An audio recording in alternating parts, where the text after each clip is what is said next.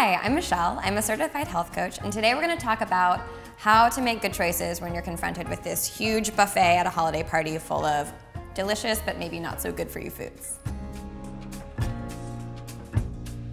Okay, so you walk into your holiday party and you check out this giant buffet full of delicious foods that maybe aren't so good for you, and you have no idea what to eat.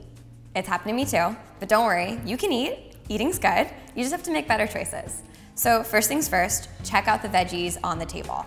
Your best bets are gonna be raw veggies like this, the crudité. These have tons of fiber and they're super hydrating.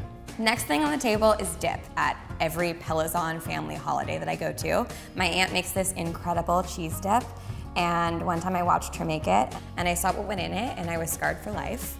So usually those creamy, yummy dips have tons of mayo, cream cheese, regular cheese, cream, uh, makes you feel not so great, slows your digestion, and overall is just not so great for you. So instead, have a little bit of that dip, and then fill up on something like hummus.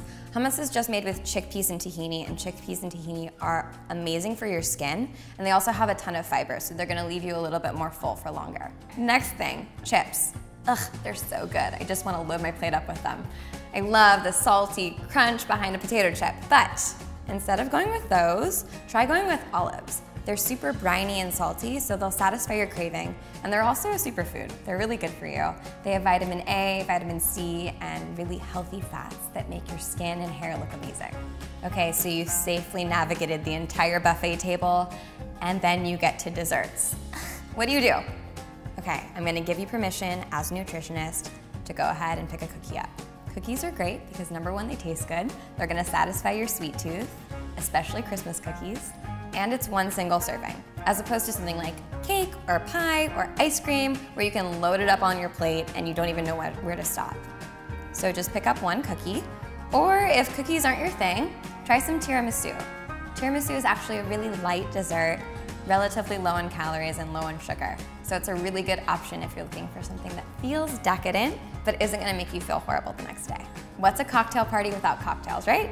We know you're gonna drink, but you can still do it in moderation. And I want you to remember that rule that you learned in college.